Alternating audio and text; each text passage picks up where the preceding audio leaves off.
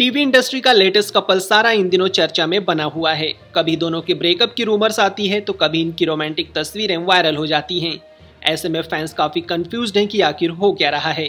क्या ये दोनों अभी भी साथ हैं, या इनकी राहें जुदा हो चुकी हैं? ऐसे में अब राकेश और समिता ने अपने फैंस को अपने रिश्ते पर क्लैरिटी दे दी है। अब इन दोनों ने साफ़ कर दिया है कि दोनों का ब्रेकअप हो गया है। आपको बता दें कि समिता सेट्टी और राकेश बापट का कनेक्शन बिग बॉस ओटीटी से शुरू हुआ था, जहाँ वो पहली बार मिले।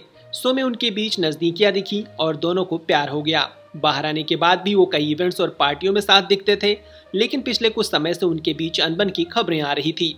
हालाँकि बीच में उनके बीच सुलह भी हो गई थी, लेकिन वो फिर अलग हो गए। अब समिता और राकेश ने ब्रेकअप का ऐलान कर दिया है। दोनों ने सोशल मीडिया पर पोस्ट लिखकर ये जानकारी दी है।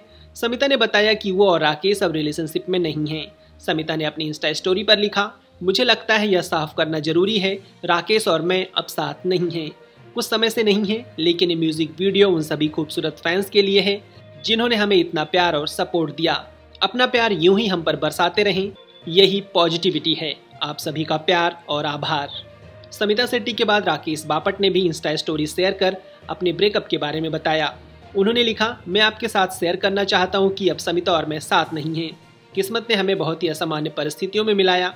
इतने प्यार और सपोर्ट के लिए बहुत बहुत शुक्रिया सारा फैमिली साथ ही राकेश बापट ने कहा कि एक प्राइवेट पर्सन होने के नाते मैं यह सार्वजनिक तौर पर ऐलान नहीं करना चाहता था कि हम अलग हो गए। हालाँकि मुझे महसूस हुआ कि अपने फैंस को इसकी जानकारी देनी चाहिए। मुझे इस बात का ध्यान है कि इससे आपका दिल टूट जाएगा, लेकिन उम्मीद है आप अलग होने के बावजूद प्यार बरसाते रहेंगे। आपके सपोर्ट के लिए शुक्रिया। ये म्यूज़िक वीडियो आप सभी को समर्पित है। वैसे इस स्टोरी पर आपकी क्या राय है, हमें कमेंट के माध्यम से ज़रूर बताएँ।